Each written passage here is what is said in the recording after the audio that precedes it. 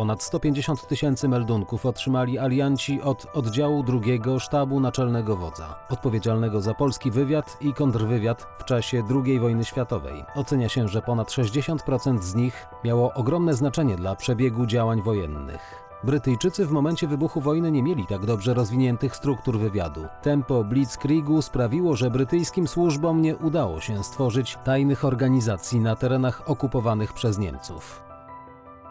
And that happened so quickly and so unexpected Atak był tak szybki, niespodziewany, że Brytyjczycy nie byli w stanie przygotować żadnych alternatywnych planów. unable to make any contingency plans. So by the end of June 1940, Pod koniec czerwca 1940 roku brytyjskie służby specjalne nie istniały w Europie. Właśnie dlatego zaczęto mocno polegać na sojusznikach. On its allies. Głównym sojusznikiem Brytyjczyków w wojnie wywiadowczej zostali Polacy. Informacje przekazane przez polski wywiad miały ogromny wpływ na przebieg II wojny światowej. Historia wywiadu to zawsze historia konkretnych ludzi, którzy z narażeniem życia zdobywali bezcenne informacje. Sylwetki niektórych z nich przedstawiamy w niniejszym filmie.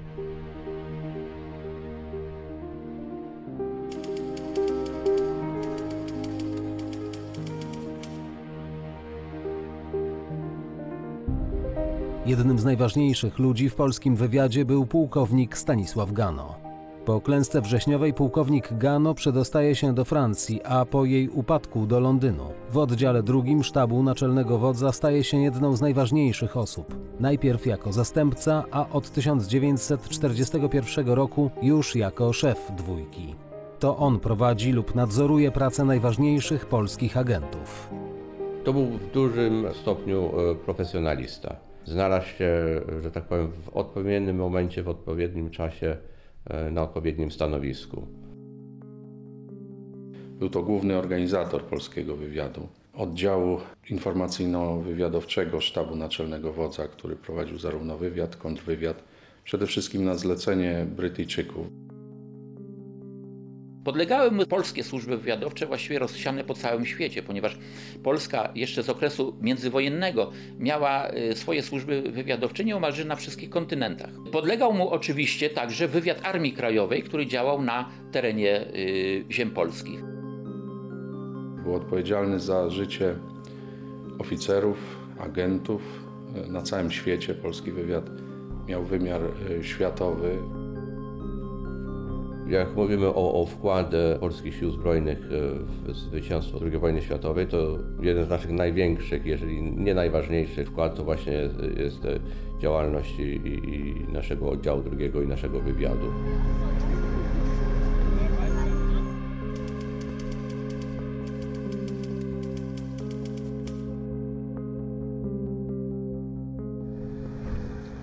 Ważną kwestią w życiorysie Stanisława Gano jest y, sprawa Romana Czerniawskiego, agenta Brutusa, czyli tego, którego on osobiście y, prowadził. To się bardzo rzadko zdarzało. Raczej szef całej służby wywiadowczej, potężnej, y, nie działa jak oficer werbujący i oficer prowadzący. Jednak uznał tutaj, że jest to na tyle ważka sprawa na korzyść aliantów, że musi to sam kontrolować.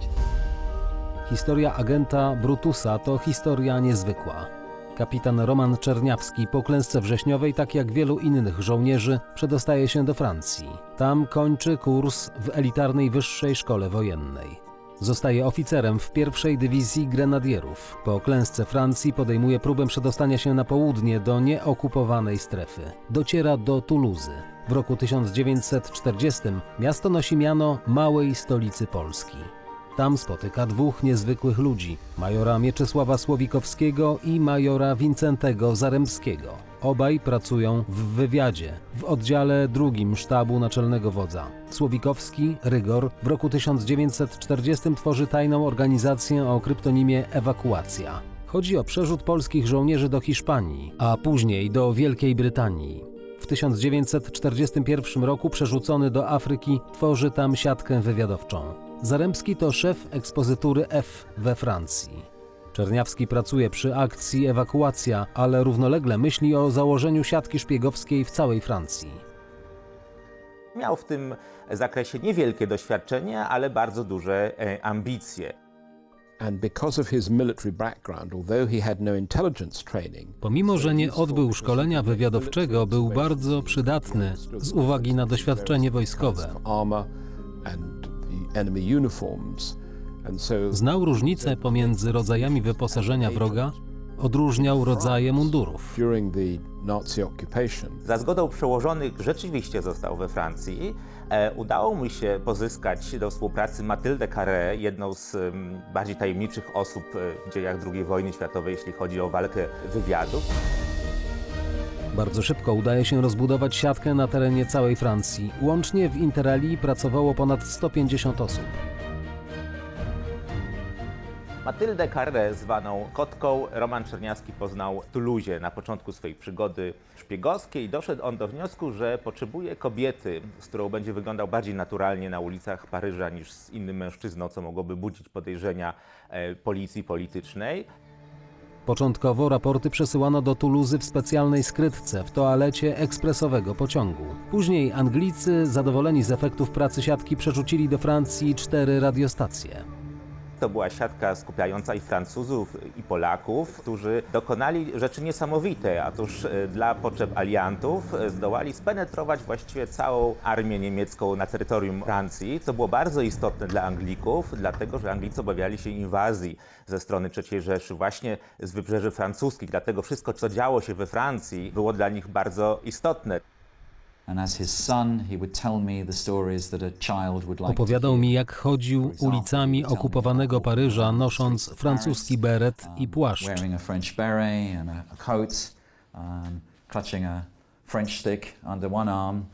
W jednej ręce trzymał bagietkę, a w kieszeni notes, gdzie zapisywał przydatne informacje, które mógł przekazać swoim agentom, a ci dostarczali je polskim lub angielskim służbom wywiadowczym. Back to, to the Polish commu- in- intelligence community or in England.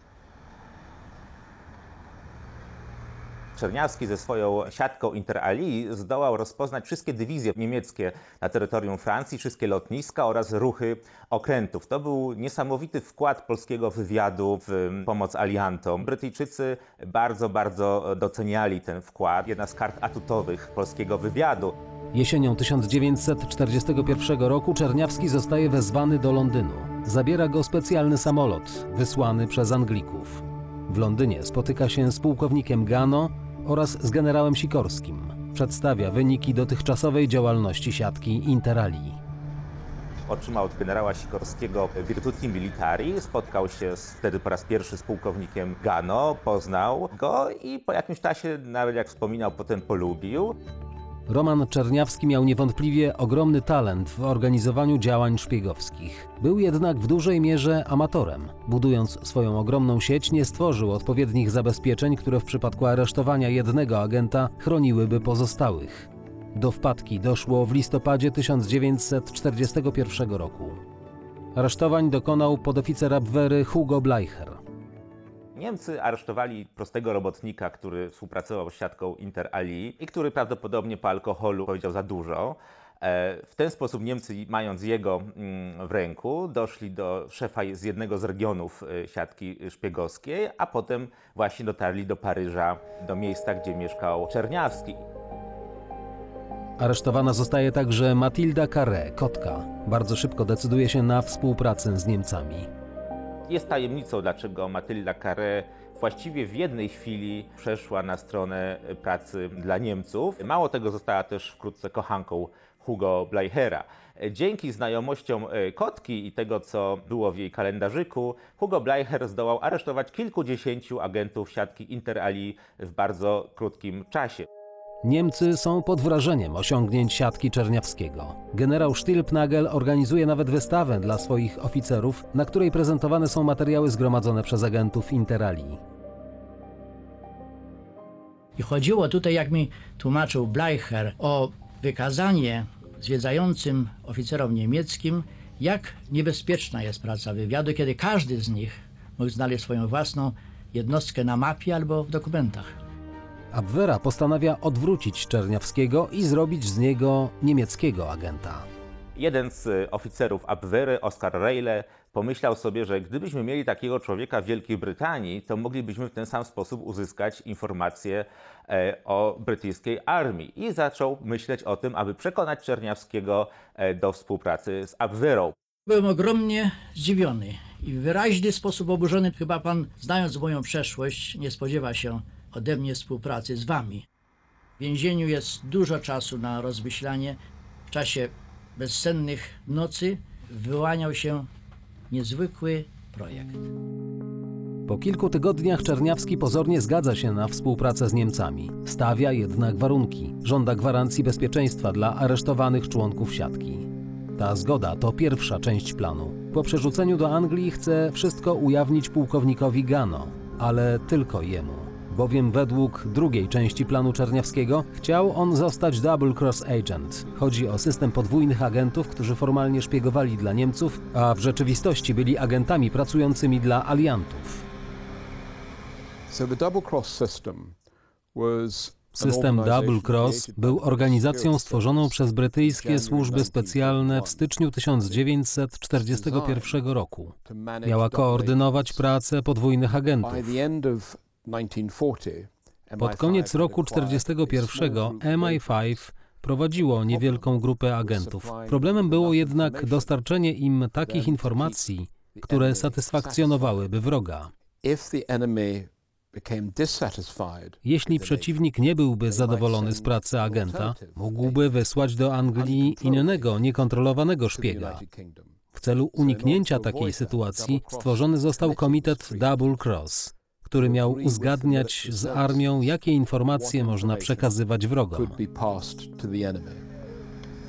Niemcy byli przekonani, że Czerniawski po przerzuceniu do Londynu nie zdradzi. Mieli zakładników, członków siatki Interali oraz wiedzieli, gdzie w Polsce mieszka rodzina Czerniawskiego.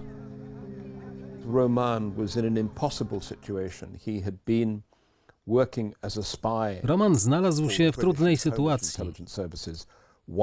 Pracując we Francji dla polskich i brytyjskich służb, został zdradzony i aresztowany przez Abwehrę. Początkowo odmówił współpracy, ale zgadza się, gdy pojawia się groźba użycia jego przyjaciół, członków siatki szpiegowskiej, jako zakładników. Dlatego Niemcy byli pewni, że będąc lojalnym wobec przyjaciół, nigdy ich nie zdradzi.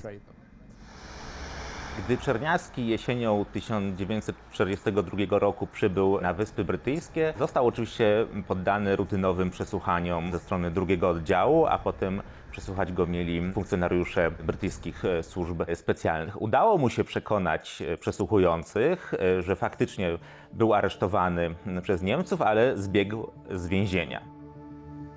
W rzeczywistości ucieczka z niemieckiego więzienia w Paryżu to fikcja stworzona przez Abwehrę w celu uwiarygodnienia Huberta. Taki pseudonim Niemcy nadali Czerniawskiemu. Z protokołu przesłuchania Romana Czerniawskiego. Proszę dokładnie wyliczyć wszystkie kompromitujące dokumenty, jakie znaleziono u pana w czasie aresztowania. W szczególności proszę podać, jakie materiały wywiadowcze i dokumenty z adresami sieci wywiadowczej miał pan. Jakie miał pan notowane nazwiska osób współpracujących lub nie mających nic wspólnego z siecią? Kto z tych osób został aresztowany? Proszę podać dokładnie, co pan wiedział do dnia ucieczki z więzienia o aresztowaniu i zachowaniu się La Chate.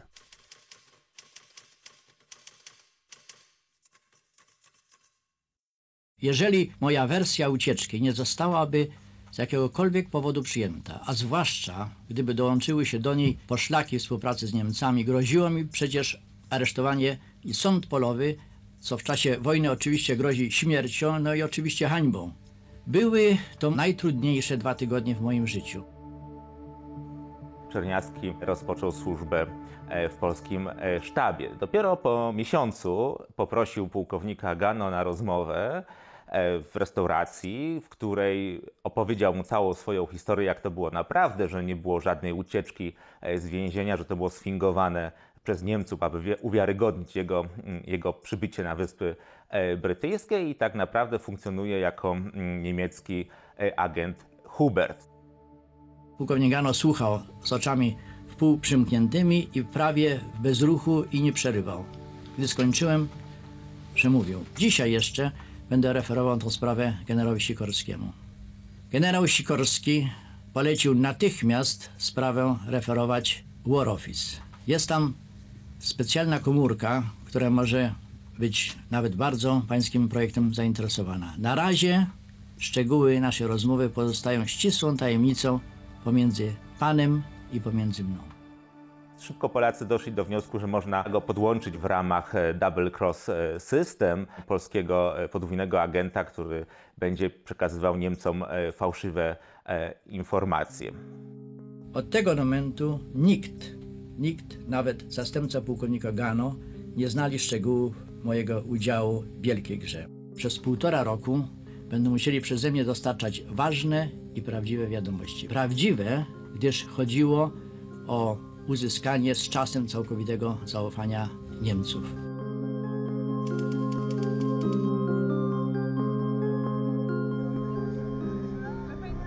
Operacja Overlord. Taki kryptonim nosiła rozpoczęta 6 czerwca 1944 roku aliancka inwazja na Francję.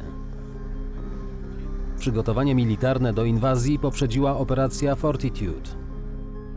Jej celem było przekonanie Hitlera, że główne uderzenie aliantów skierowane będzie w rejon Pas-de-Calais, a nie na plażę Normandii.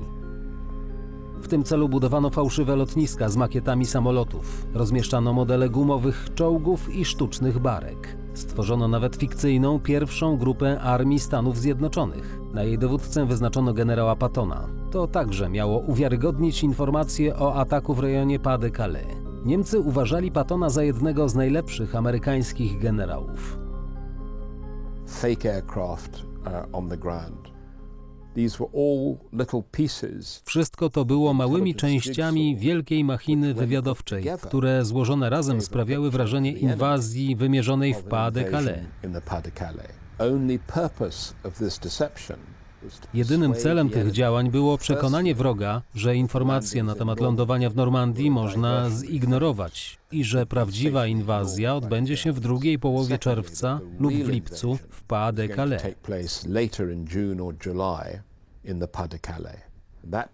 Ta kampania wywiadowcza była przeprowadzona przez czterech podwójnych agentów. Jednym z nich był Roman Czerniawski.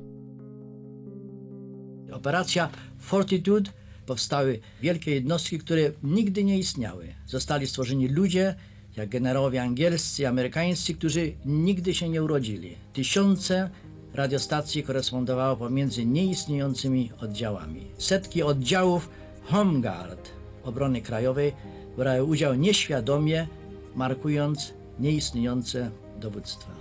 Najmniejszy błąd mógł przekreślić w tym czasie całość dotychczasowych przygotowań.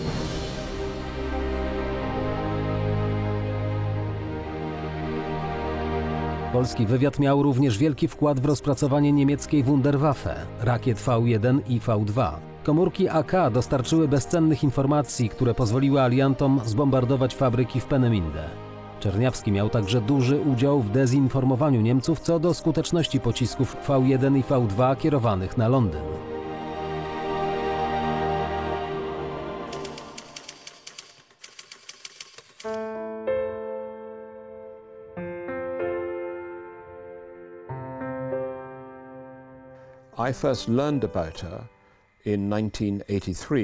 Po raz pierwszy dowiedziałem się o niej w roku 1983 podczas zwyczajnej rozmowy ze starym przyjacielem. Pod koniec wojny był przedstawicielem brytyjskich służb specjalnych w Bernie.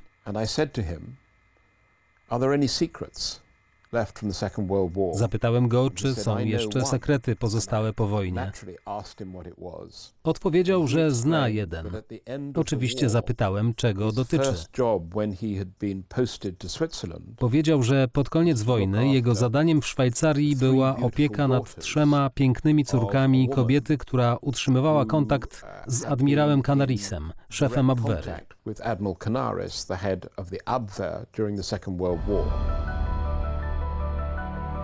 Tą tajemniczą osobą była Halina Szymańska. Nigdy nie spodziewała się, że zostanie agentem, ale informacje o niemieckim uderzeniu na Francję przez Ardeny, inwazji na Maltę w 1942 roku, szczegółach ofensywy Afrika Korps oraz o akcji Barbarossa, niemieckiej inwazji na Związek Radziecki, alianci otrzymali właśnie od niej.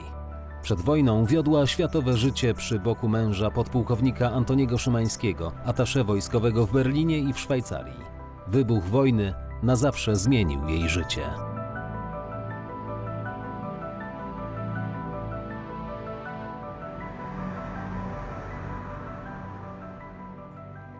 Wojnę zastałyśmy w Polsce, to było lato.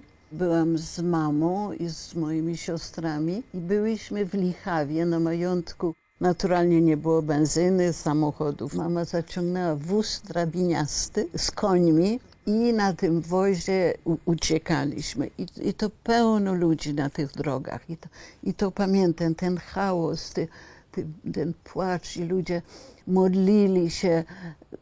To, to było dosyć przerażające.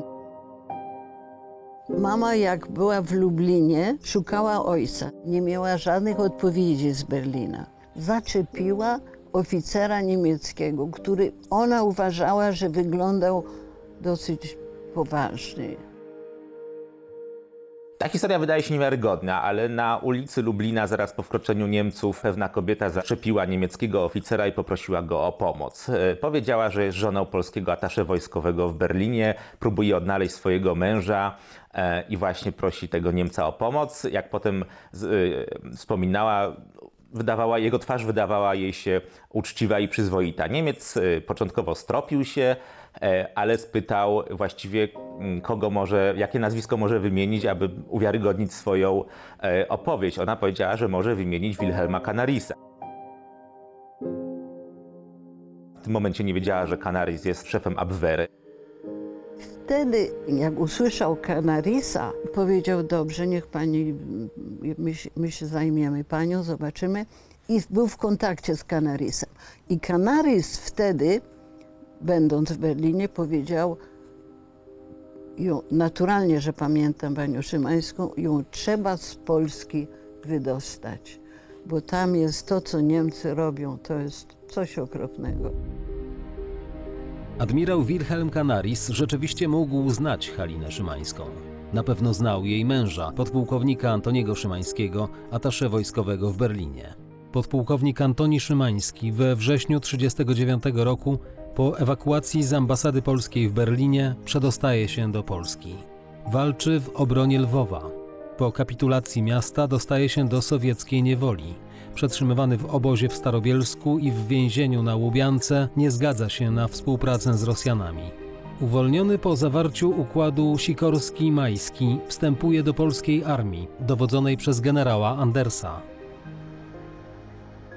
Cudem znalazłyśmy się w Berlinie, ale zamieszkałyśmy w mieszkaniu ambasadora hiszpańskiego. Nasze mieszkanie było podobno zamknięte, ale mama chodziła i mogła zapakować wszystkie rzeczy, srebro rodzinne, tego. Niestety nie wzięła albumów fotograficznych, bo myślała, że, że wojna nie będzie. Nikt nie, nie myślał, że wojna będzie trwała pięć lat.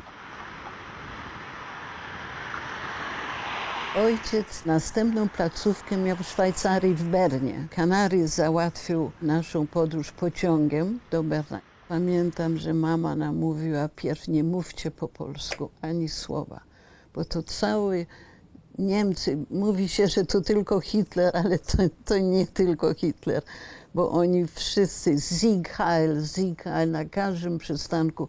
Dla mamy to było straszne, to, to, to córeczki małe, ona sama, mama miała 35 lat. Ktoś do wagonu mógł przyjść, zapytać się, kim pani jest. No w każdym razie dostałyśmy się do Szwajcarii.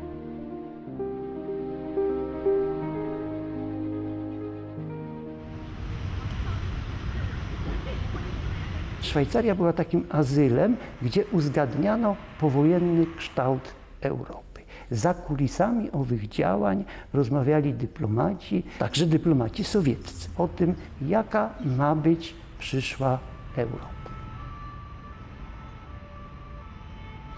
W poselstwie polskim stawia się Halina tuż przed Bożym Narodzeniem 1939 roku i tam spotyka się z szczęsnym Antonim Chojnackim, który pełnił funkcję wicekonsula przy poselstwie polskim.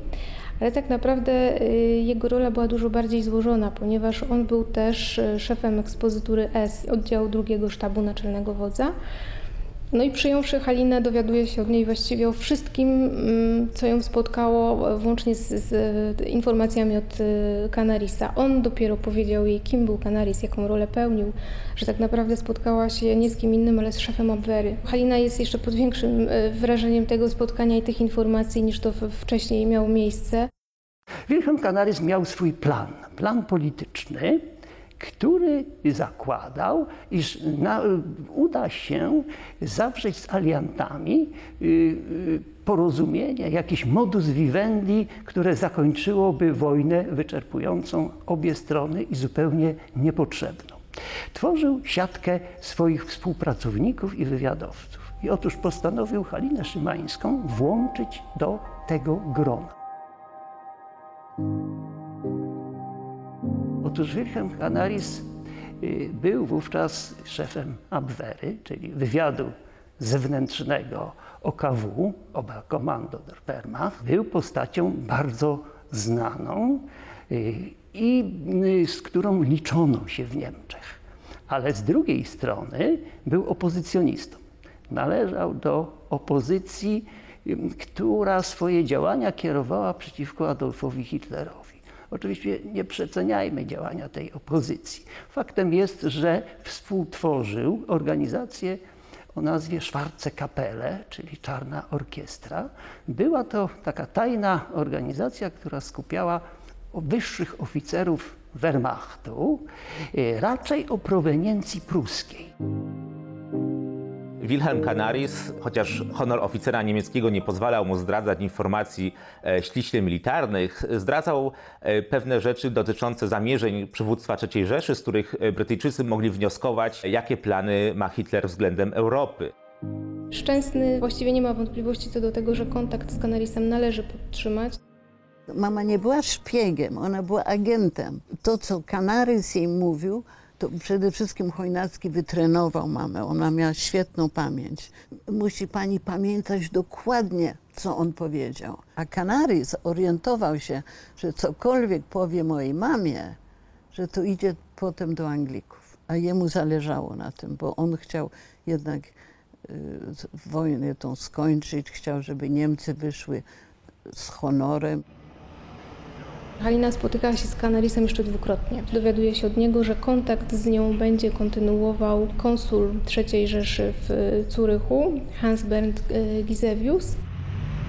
Wilhelm Canaris e, przekazywał jej właśnie informacje, gdzie szykują się mm, uderzenia niemieckie, jaka jest sytuacja na wschodnim froncie. Natomiast nigdy, co jest ciekawe, nie pytał o tym, co się dzieje w obozie alianckim. 25 raportów dotarło od Szymańskiej do, do Londynu. Wszystkie one bardzo pomogły um, Brytyjczykom i Amerykanom w pokonaniu III Rzeszy. Zastępca szefa oddziału drugiego sztabu naczelnego wodza podpułkownik Gano. Pan generał, naczelny wódz. Melduję panu generałowi. Depesza z Berna. Dalszy ciąg informacji źródła 594 podaje transporty niemieckie poprzez Francję nieokupowaną na Tunis. Mama za łóżkiem miała mebel i miała telefonkę. Telefonką to było radio. Jesteśmy w łóżku, a mama spo- spokojna, poważna pani. Usłyszała wiadomości i zaczęła skakać na łóżku. Ja się tak ucieszyłam, że mama zachowuje się tak jak my. Skaka.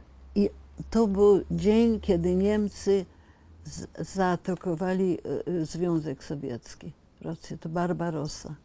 Bo mama miała przez Kanarisa wiadomości, że będzie Barbarossa, że, że, że Niemcy zaatakują. A nikt nie wierzył. No Stalin nie wierzył, prawda? Nikt nie wierzył.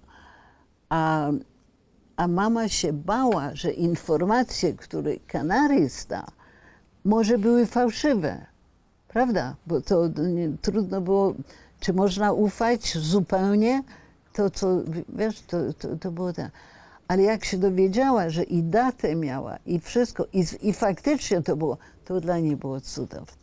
I to pamiętam świetnie, byłam z nią w, łóżku i, i mama podskakiwała i tak. Tak, to były. Kontakty z Canarisem to nie jedyna szpiegowska działalność Szymańskiej.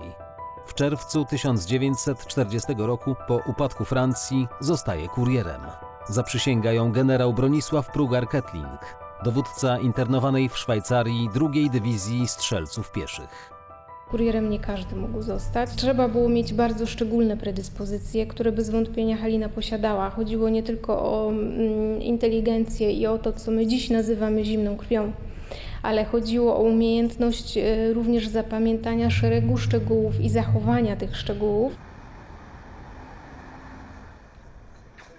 Mama jeździła do Francji okupowanej pod fałszywym paszportem, że pochodzi z Alsace. Mama mówiła po francusku trochę z akcentem niemieckim, bo, bo była 7 lat w Niemczech. Miała ten paszport i to było bardzo niebezpiecznie, bo to był fałszywy paszport. I podali ją, że starsza była, mama się urodziła w 06, a tutaj na, na tej kartce było 02, co 1 i zrobili jej na fotografii widać tak raczej, no starsza pani w każdym razie, nie, nie tak jak mama, która kapelusze nosiła i, i, i, była elegancką.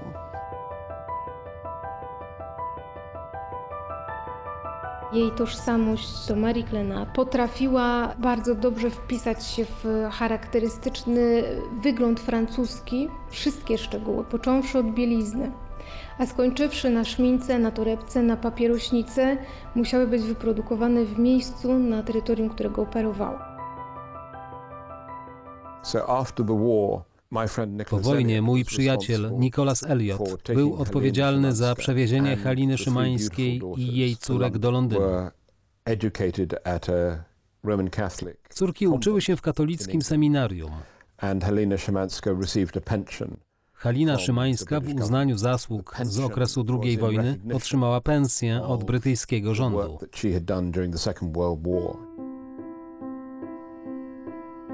Rząd angielski zapytał się po koniec wojny, jak mamie odwdzięczyć się za, za jej pracę. I mama wtedy powiedziała wychować moje córki.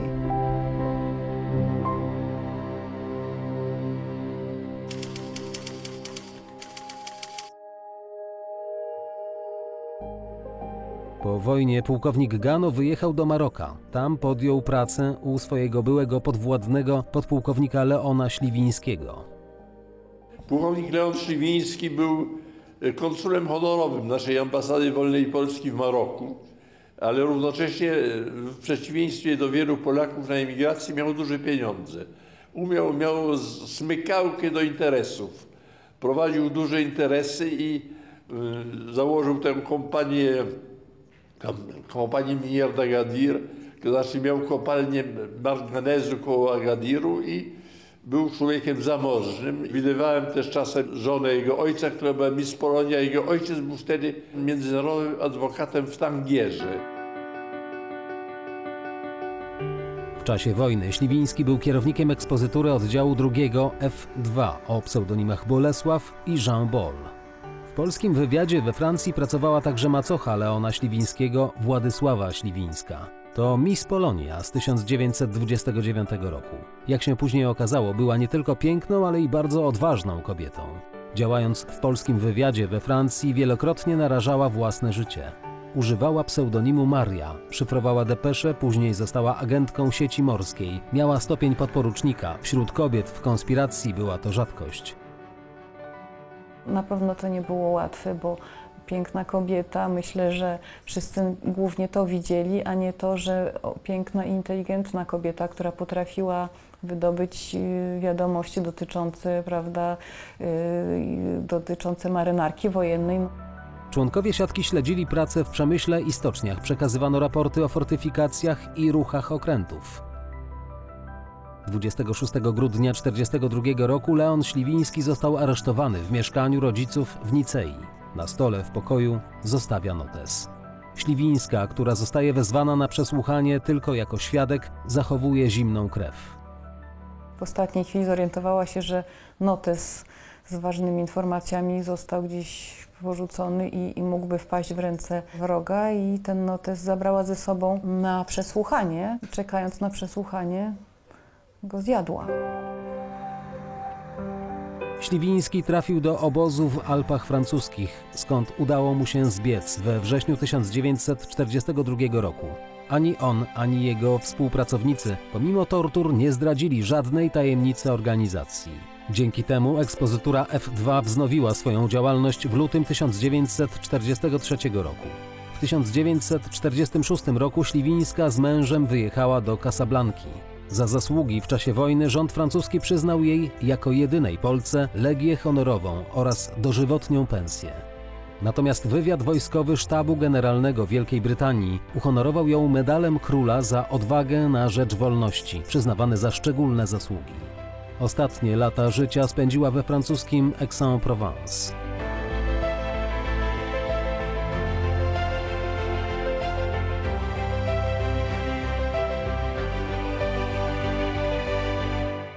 O Dziuni Śliwińskiej y, usłyszałam od pana Michała Kłobukowskiego, który był jej kuzynem. I on całą historię jej ciekawego życia opowiadał mi przy okazji takich codziennych spotkań y, w ich y, mieszkaniu w Aix-en-Provence przy Avenue de la Violette. Modlitewnik Dziuni Śliwińskiej. W tej książeczce, którą dostałam w prezencie, znajdowały się różne obrazki. Tu na przykład jest kartka kiedy się spojrzy, credo i inne modlitwy po łacinie z parafii Casablanca. I możemy zobaczyć też podróże prawdopodobnie, bo widzimy Włochy, Mediolan i również Sewilla, także sądzę, że Dziunia podróżowała po różnych sanktuariach. Możemy powiedzieć, że była taką osobą głęboko, głęboko wierzącą. To, że ją potem odznaczono, to na pewno dla niej była satysfakcja i szkoda, że tak niewiele osób wie o tych odznaczeniach i że o tym się nie przy, przypomina, że o tym się nie mówi. Francuski ruch oporu bardzo celebruje wszystkie działaczki, wszystkich działaczy ruchu oporu, a my mamy takich działaczy mnóstwo, a, a kobiety bardzo dzielne i, i ta historia Dziuni myślę, że jest, jest wyjątkowa zupełnie.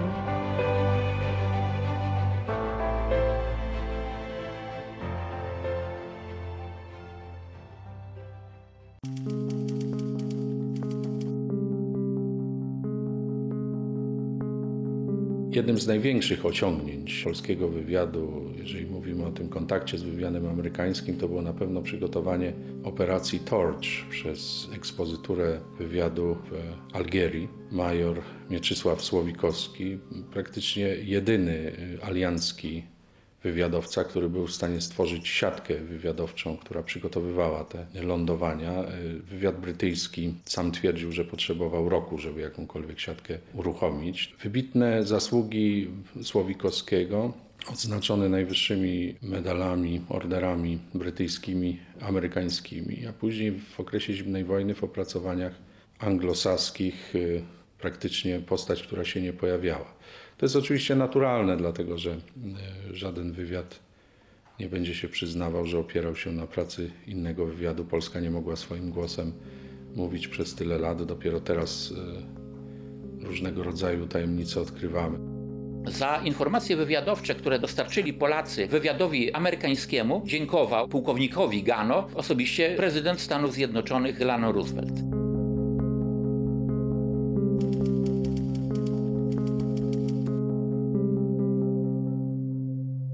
I suppose in intelligence context, the two greatest contributions by the Poles during the Second World War are cryptographic.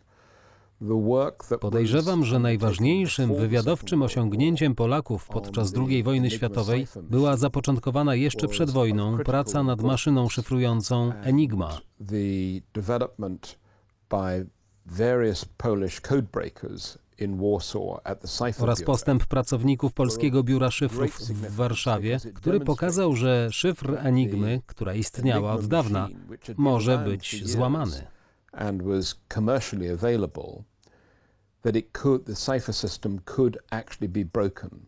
So, for example, it was only fairly recently that the Swiss Stosunkowo niedawno armia szwajcarska przestała korzystać z Enigmy. Kiedy w 1974 roku odtajniono pierwsze informacje na temat Enigmy, istniało kilka krajów wspólnoty brytyjskiej, w tym Nigeria, które używały odnowionych enigm podarowanych im przez Brytyjczyków. Twierdzono, że szyfr jest nie do złamania. That this traffic was virtually unbreakable.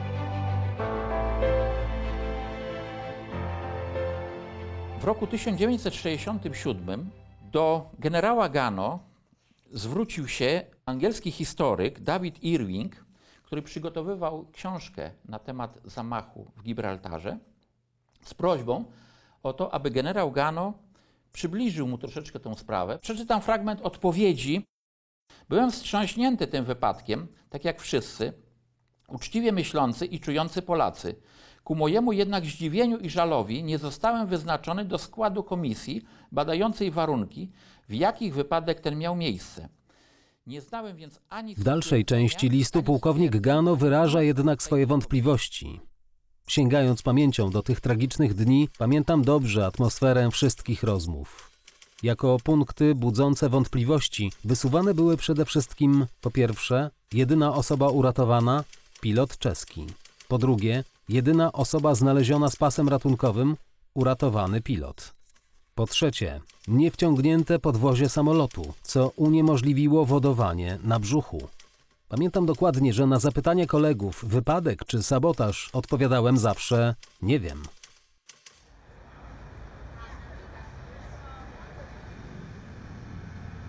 W 1945 roku, najpóźniej w 1947, oddział drugi formalnie nie istniał i polski wywiad formalnie nie istniał, tak jak dotychczas, ale on działał i funkcjonował też jako komórki polskiego wywiadu e, władz emigracyjnych.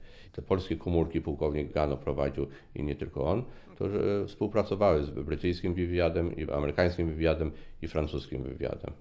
I były różne komórki, które właśnie e, działały do lat 60. z pewnością. Głównie to były późne lata 40. i 50., ale, ale sięgało też do, do, do, do, do, do lat 60. i montowano różne operacje, y, monitorowano, co się dzieje w kraju. Y, Nawet doszło do, do, do, do spotkania pułkownika Gano z przedstawicielami Bundeswehry w latach 50. The only asset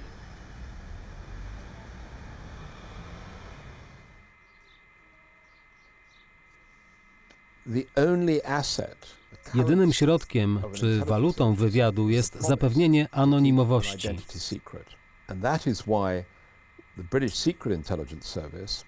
Dlatego brytyjskie służby wywiadowcze nie ujawniają tożsamości agentów nawet sprzed 100 stu lat. Może wydawać się to niezwykłe, ale zdaniem służb szkodzi to biznesowi. Są w stanie dotrzymać obietnicy nieujawniania i przez to możesz być pewien, że twoje dzieci, wnuki czy prawnuki będą bezpieczne.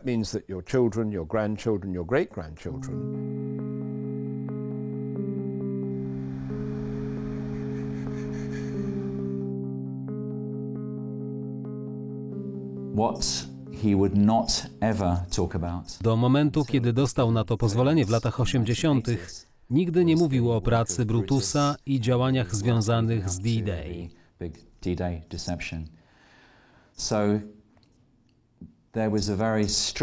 Bardzo konsekwentnie trzymał się zasady, by nie podawać żadnych informacji nikomu, nawet rodzinie, jeżeli nie było na to zgody.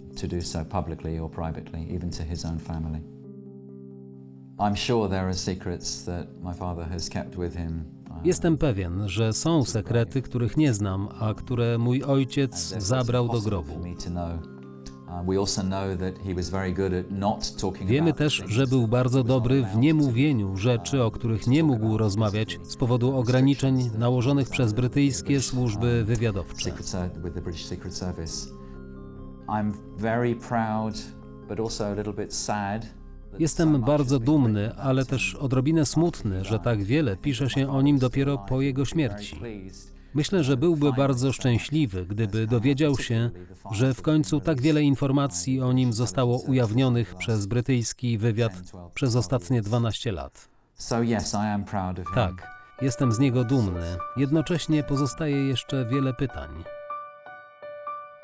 Coraz więcej wiemy o życiorysie generała Gano. To był bardziej organizator, bardziej osoba z drugiego mm, planu, ale przez y, sojuszników y, zachodnich był traktowany jako oficer niezwykle odpowiedzialny. Polski wywiad miał wymiar y, światowy. Polacy byli w stanie stworzyć siatki wywiadowcze w każdym zakątku świata, co nie wszystkim wywiadom się wtedy udawało.